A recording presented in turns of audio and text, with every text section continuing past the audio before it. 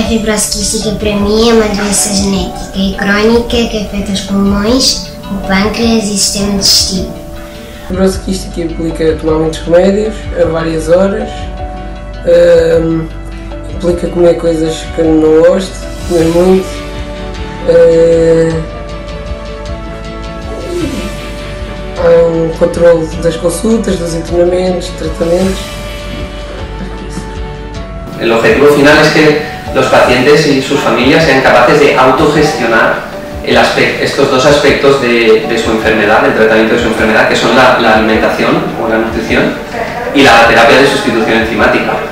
Eh, todos los, esfuerzos y todas las investigaciones que se han hecho en el proyecto han sido eh, eh, enfocados a culminar en, un producto, en una herramienta que verdaderamente permita este, este objetivo final, que es la autogestión.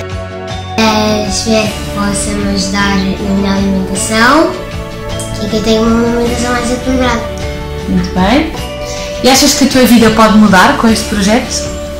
Sim, acho que pode-me ajudar a mim e aos outros meninos a termos uma alimentação mais, mais equilibrada y aprendemos a cuidar mejor de nosotros. Detrás de lo que hacemos en el laboratorio, el objetivo es un bienestar a personas pues, que tienen eh, un, problema de desnutrición.